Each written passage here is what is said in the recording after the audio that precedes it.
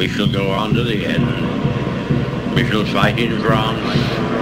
We shall fight on the seas and oceans. We shall fight with growing confidence and growing strength in the air